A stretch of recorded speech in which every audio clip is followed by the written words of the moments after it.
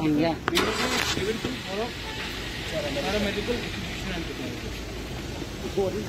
No, this place has been given by the ADC. It's some private institution. No, we have given it to them for 5,000 We have submitted to the power department. I have a lot of money from there. No, but how can we borrow power? वही है ना तुम्हें भाड़ा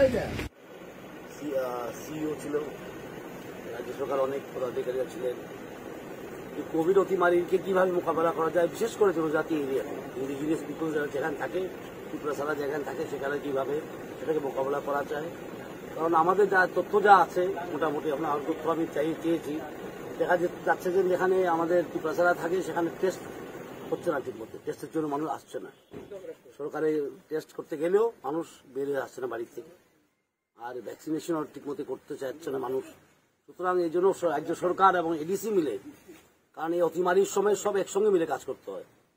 মানুষের প্রাণটাই সবচেয়ে বড় না? সবচেয়ে বড় জিনিস, রাজনীতি, অর্থনীতি, সব নীতি পরে হবে।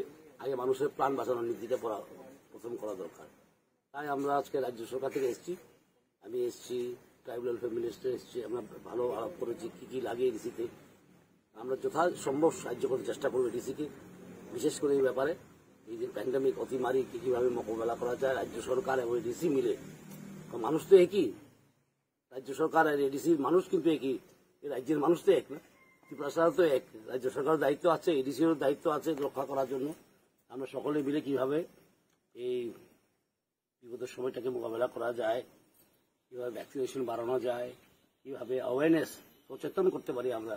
ত্রিপুরা সাথে টেস্টিং করে ভ্যাকসিনেশন যেমন করে। এবং আমি আবেদন রাখছি আপনাদের মাধ্যমে। লোকজনকে, সিএম আছে আমার সঙ্গে, কমল কল ইএমও আছেন। আমরা সকলে আবেদন রাখি। টেস্টিং করুন, ভ্যাকসিনেশন নিন। অসুবিধা হলে যোগাযোগ করার নম্বর আমরা দেব, সেখানে যোগাযোগ করুন।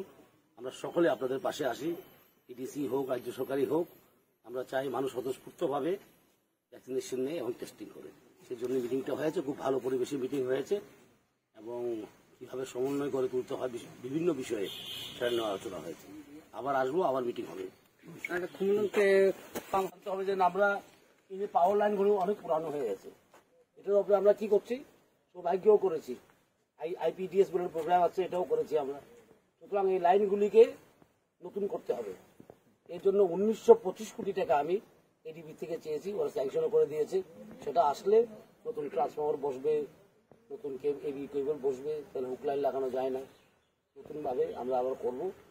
কিন্তু এখনও আমি আমার স্টাফদেরকে বলি কারণ যেতেই পারে, কারণ বর্ষা আছে, রাবার গাছ আছে ত্রিপুরায় যেখানে রিস্টোর যেমন হয়ে যায়, আবার যেমন ঠিক করে দেয়, খুব তাড়াতাড়ি সেটার উপরে যেমন চলছে আমার যে এমডি আছে, ওকে বলা হয়েছে।